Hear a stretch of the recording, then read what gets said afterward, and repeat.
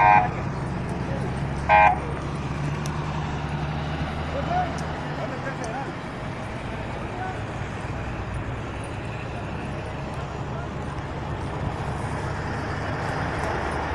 dígame cómo estuvo el accidente. Bueno, para serte honesto, ahorita que veníamos nosotros de Macupana, que vamos rumbo a Villahermosa, nos encontramos que estaba el tráiler aquí atravesado y vimos dos o tres carros parados.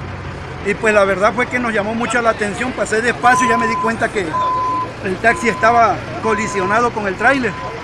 Este, pues ya nos paramos a auxiliar porque pues desafortunadamente en, esto, en este tipo de, en este tipo de, de cosas hay más gente filmando, chismeando, en vez de ayudar, les pedía yo ayuda y todos se, se hacían a un lado hasta que llegaron ya tres, cuatro personas.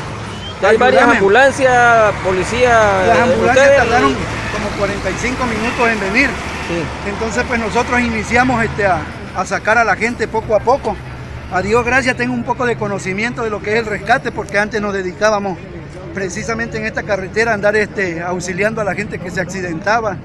Y pues ¿Cuántos heridos? iba a ¿Cómo hacer. ¿Cuántos heridos? Son cinco en total, este, desafortunadamente cuatro heridos en código rojo son dos y dos están en código amarillo y tenemos uno que desafortunadamente es código negro. ¿eh? Es un estudiante que al parecer es, estaba estudiando este, para doctor, pues no digo el apellido, ¿no? Pero Sí, así es. ahí trae escrito su nombre, él venía de la UJAT porque ahí es donde estudia. Pero te repito, qué pena me da tanta gente morbosa filmando en vez de ayudar en estos momentos porque imagínate que fuera un familiar de ellos, un Así familiar es. de nosotros. No lo iban a hacer. Pues lo que queremos es ayudar, definitivamente, ¿no? Lo que queremos es ayudar para que la gente, para que los heridos se les den, se les den los primeros auxilios. Así. Porque si es importante, hay un doctor que va en código rojo, va bastante dañado. El taxista pues va en código amarillo.